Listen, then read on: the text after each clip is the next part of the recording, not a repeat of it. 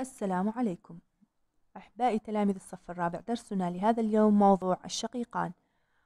ضياء الدين ويوسف أخوان شقيقان يعيشان من حقل تركه لهما أبوهما بعد وفاته. يزرعانه معا ويقتسمان محصوله بالتساوي.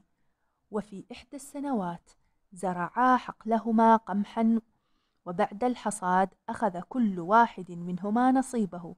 جلس الأخ الصغير يوسف يفكر في أخيه الكبير ضياء الدين ويحدث نفسه قائلا إن لأخي زوجة وأطفالا وتكاليف معيشتهم كثيرة فيجب أن أعاونه.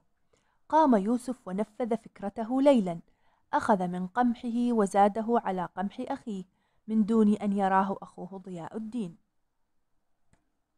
وفي الليلة نفسها كان ضياء الدين يفكر مثل ما فكر أخوه يوسف. قال في نفسه إن أخي مقبل على الزواج ويحتاج إلى مال فعلي أن أساعده. ثم قام وزاد من قمحه على قمح أخيه يوسف من دون أن يراه. وفي الصباح نظر كل واحد منهما إلى قمحه فوجد أنه لم ينقص منه شيء. وفي الليلة الثانية كرر كل واحد ما عمله البارحة ملأ كيسا من القمح وذهب ليزيده على قمح أخيه وصادف أن الأخوين خرجا في وقت واحد فالتقيا في منتصف الطريق فعرفا ما كان يحدث وتعانقا وهما يضحكان.